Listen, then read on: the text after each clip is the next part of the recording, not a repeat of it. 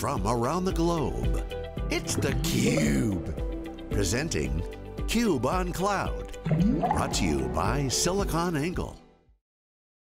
Hi, I'm Stu Miniman and welcome back to the Cube on Cloud, talking about uh, really important topics as to how uh, developers were changing how they build their applications, where they live. Of course, long discussion we've had for a number of years you know, how do things change in hybrid environments? We've been talking for years, public cloud and private cloud, and really excited for this session. We're going to talk about how edge environment and AI impact that. So happy to welcome back one of our CUBE alumni, Simon Crosby. He's currently the Chief Technology Officer with Swim. He's got plenty of viewpoints on AI, the edge, and knows the developer world well. Uh, Simon, uh, welcome back. Thanks so much for joining us. Thank you, Stu, for having me. All right, so let, us let, st start for a second. Let's talk about developers. You know, it used to be, you know, for, for years we talked about, you know, what's the level of abstraction we get? Does it sit, you know, you know, do I put it on bare metal? Do I virtualize it? Do I containerize it? Do I make it serverless? Uh, a lot of those things, you know, that the app developer doesn't want to even think about, but location matters a whole lot when we're talking about things like AI, where do I have all my data that I can do my training? Uh, where do I actually have to do the processing? And of course, edge just changes by orders of magnitude so, some of the things like latency and uh, uh, where, where, data lives and everything like that. So with, with that as a setup, would love to get just your, your, your framework as to what you're hearing uh, from developers, and we'll, we'll get into uh, some of the solutions that, that you and your team are helping them to do their jobs. Well, you're absolutely right, Stu. The data onslaught is very real. Um, companies that I deal with are facing more and more real time data from products, from their infrastructure, from their partners, whatever it happens to be, and they need to make decisions rapidly. And the problem that they're facing is that traditional ways of processing that data are too slow. So perhaps the big data approach, which by now is a bit old, it's a bit long in the tooth, um, where you store data and then you analyze it later, is problematic. First of all, data streams are boundless, so you don't really know when to analyze. But second, you can't store it all. And so the store and analyze approach has to change. And Swim is trying to do something about this by adopting a process of analyze um, on the fly. So as data is generated, as you receive events, you don't bother to store them. You you analyze them, and then if you have to, you store the data. But you you need to analyze as you receive data um, and and react immediately to be able to generate reasonable insights or predictions that can drive commerce and decisions in the real world. Yeah, absolutely. I remember back, you know, the early days of uh, big data. Uh, you know, real time got thrown around a little, but it was usually I need to react fast enough to make sure we don't, you know, lose the customer. We react to uh, something, but it was we gather all the data and let's move compute to the data. Uh, today, as, as, you talk about, you know, real-time streams are so important. Uh, we've been talking about observability for the last couple of years to just really understand the systems and the outputs more than looking back historically uh, at, at, where things were, waiting for alerts. So, could, could you give us some examples, if you would, as to you know the, the, those streams? You know, what is so important about being able to interact and leverage that data when you need it. And boy, it's great if we can if we can use it then and not have to store it and think about it later. Obviously, there's some benefits there um, because well, every product nowadays has a CPU, right? And so there's more and more data. And just let me give you an example. Um, Swim processes um, real-time data from more than 100 million mobile devices in real time. Um, in for a mobile operator. And what we're doing there is we're optimizing connection quality between devices and the network. Now that volume of data is more than four petabytes per day. Okay. Now there is simply no way you can ever store that and analyze it later. The interesting thing about this is that if you adopt and analyze and then if you really have to store architecture, you get to take advantage of Moore's law. So you're running at CPU memory speeds instead of at disk speed. And so that gives you a million fold speed up. And it also means you don't have the latency problem of reaching out to a remote storage um, database or whatever. And so that um, reduces cost. So we can do it on about 10% of the infrastructure that they previously had for a Hadoop style implementation. So maybe, maybe it would help uh, if, if we just explain. When we say edge, people think of a lot of different things. Is it you know uh, an IoT device sitting out at the edge? Are we talking about the telecom edge? Uh, we've yeah. been watching AWS for years. Uh, you know, spider out their services and into various environments. So when you talk about the, the, type of solutions you're doing and, and, and what your customers have, is it the telecom edge? Is it the you know actual device edge? You know where where does processing happen and where do these you know services uh, that that work on it live? So I think the right way to think about edge is where can you reasonably process the data?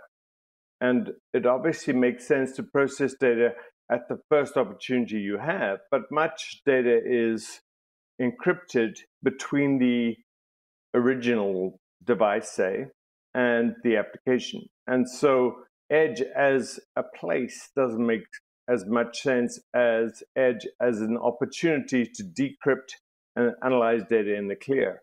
So edge computing is not so much a place, in my view, as the first opportunity you have to process data in the clear and to make sense of it. And then Edge makes sense in terms of latency by locating compute as close as possible to the sources of data um, to reduce latency and maximize your ability to get insights, you know, um, and return them to users in, you know, quickly. So edge for me often is the cloud. Excellent. Uh, one, one of the other things I, I, I think about uh, back from you know the big data days or, or, even earlier, it was that how long it took to get from the raw data uh, to processing that data to be able to getting some insight and then being able to take action.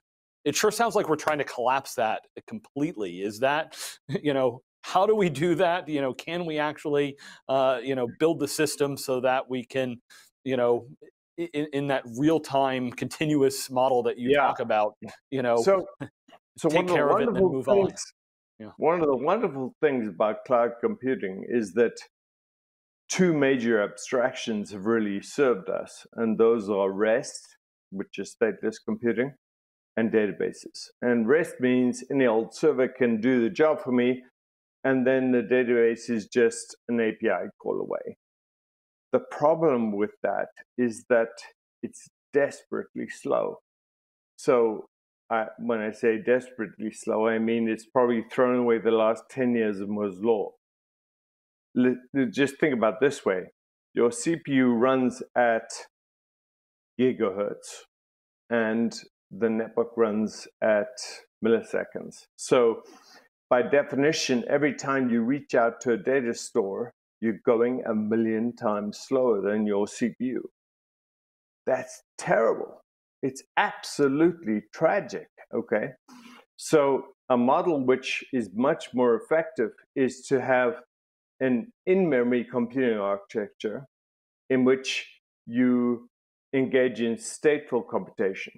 So, instead of having to reach out to a database every time to update that database and whatever you know, store something and then fetch it again a few moments later when the next event arrives. You keep state in memory and you compute on the fly as data arrives. And that way you get a million times speed up. You also end up with this tremendous cost reduction because you don't end up with as many instances having to compute by comparison, so let me give you a quick example. If you go to traffic.swim.ai, you can see um, the real time state of the traffic infrastructure in Palo Alto. And um, each one of those um, intersections is predicting its own future. Now, the volume of data from just a few hundred lights in Palo Alto is about four terabytes a day. And sure, you can deal with this in AWS Lambda. There are lots and lots of servers up there. But the problem is that the end to end per event latency is about 100 milliseconds.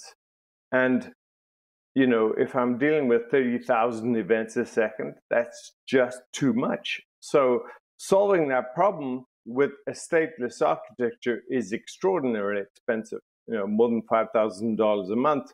Whereas the stateful architecture, uh, which you could think of as an, an evolution of, uh, you know, something reactive or the actor model, um, gets you, you know, something like a tenth of the cost. Okay. So cloud is fabulous for things that need to scale wide, but a stateful model is required for dealing with things which update you rapidly or regularly about their changes in state. Yeah, uh, absolutely. I, you know, I, th I, think about if uh, we, talk, I mentioned before AI training models. Uh, often, if you look at something like autonomous vehicles, the massive amounts of data that it needs to process, you know, has to happen in the public cloud. Um, but then uh, that gets pushed back down to the the end device. In this case, it's a car, um, because it needs to be able to react in real time and get fed at, at a regular update uh, the, the, the, new training algorithms that, that it has there. Um, what are you seeing? I you know, have we, we, strong views yeah. on, on this training approach and data science in general, and that is that there aren't enough data scientists um, or you know smart people to to train these algorithms, deploy them to the edge, and so on. And so there is an alternative worldview, which is a much simpler one, and that is that relatively simple algorithms deployed at scale to stateful um, representatives, let's call them you know, digital twins of things, um, can deliver enormous improvements in behavior um, as things learn for themselves. So uh, the way I think the at least this edge world gets smarter is that um, relatively simple models of things will learn for themselves, predict their own futures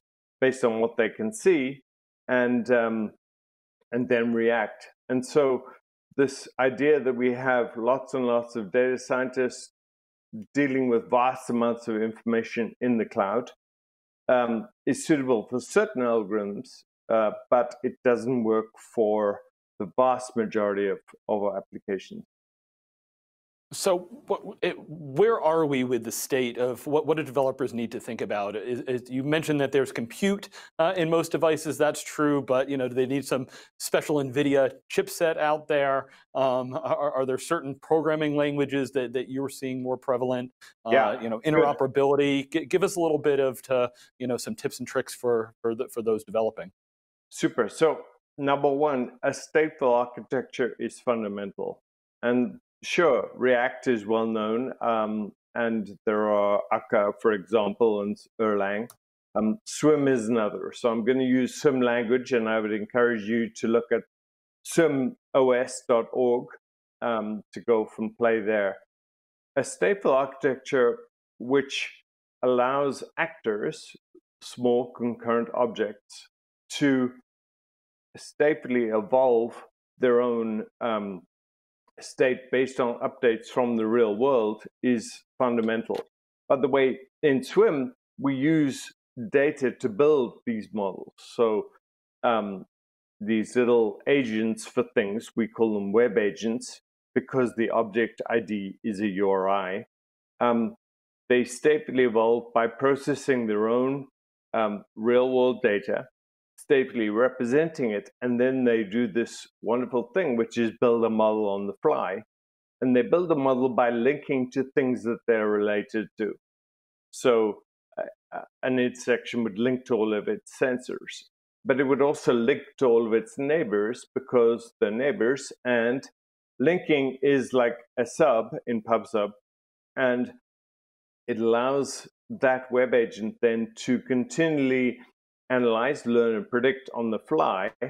And so every one of these concurrent objects is doing this job of anal- and analyzing its own raw data, and then predicting from that and streaming the result.